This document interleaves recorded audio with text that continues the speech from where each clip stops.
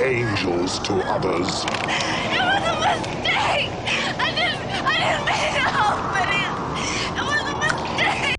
Hellraiser TV series, everything we know so far. The horror fans are no stranger to the masterful works of Clive Barker. Over the years, the maestro has stunned the audience with some unique concepts woven into gripping storylines. The Hellraiser franchise is probably his best work to date. Especially the first few movies in the franchise were absolute showstoppers with the perfect cast and plots. However, like most other franchises, this too lost the Midas touch in the last two decades. Now, the fans of the movie series are in for a pleasant surprise. Two simultaneous projects are said to be reigniting the sparks for Hellraiser. There is one theatrical reboot that has been announced in 2019, and HBO has announced a possible Hellraiser TV show, much to the delight of the fans. Before we go into our list, we have a very small request. If you like our content, please support us by subscribing to our channel. This is a small click from you, but it means a lot to us. Thank you. Let's begin.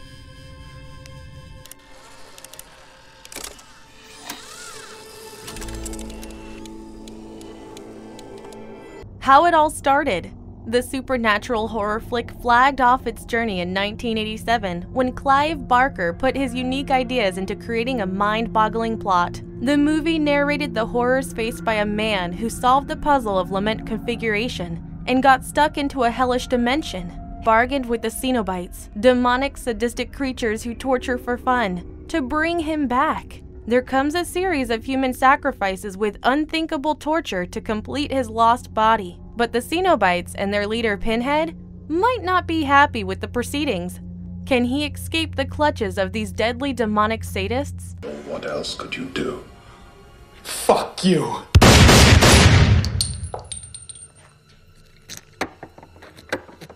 Hellraiser series so far. The precious journey of this iconic movie series started when the original Hellraiser movie hit the theaters. It was well received by the audiences and paved the way for possible sequels. When Hellbound Hellraiser 2 came out, it had lived up to the mountain of expectations created from the first outing. While these two are regarded as classics, the latter movies slowly started to show a declining interest.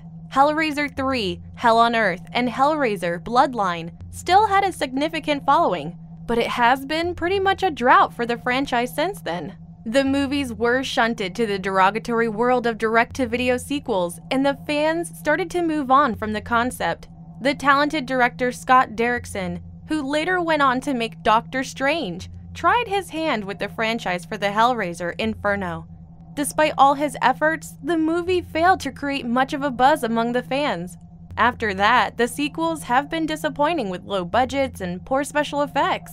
Another thing that seemed to hurt the quality was the absence of actors of the caliber of Doug Bradley to play the role of Pinhead. There might have been 10 movies in the franchise so far, but barring the first four or five, the films haven't been a shadow of the reputation it had earned. Back, child. We're already here. And so are you. HBO reviving Hellraiser as a TV show. HBO seems to have banked on the theory that classics never lose their charm.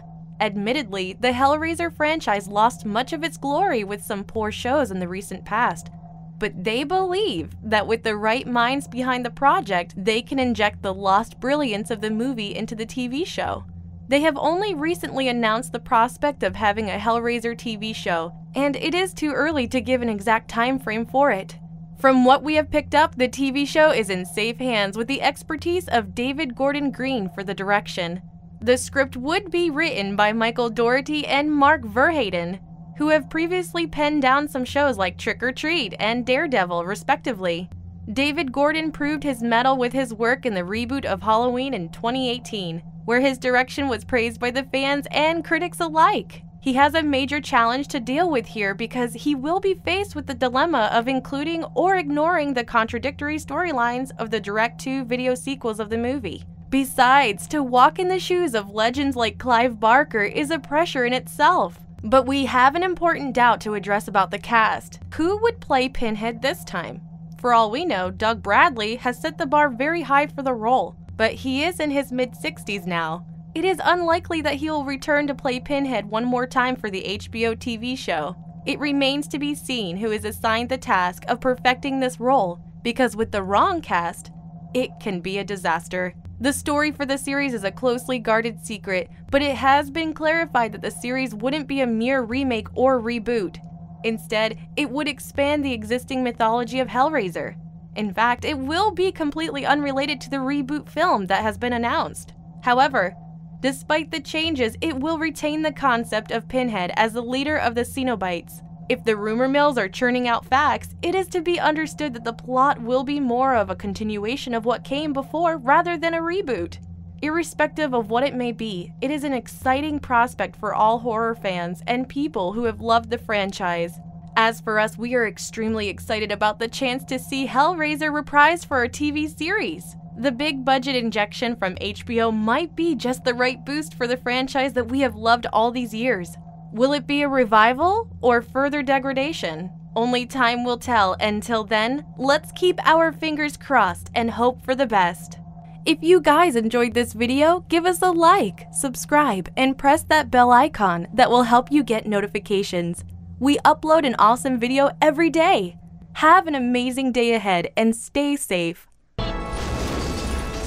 Endgame!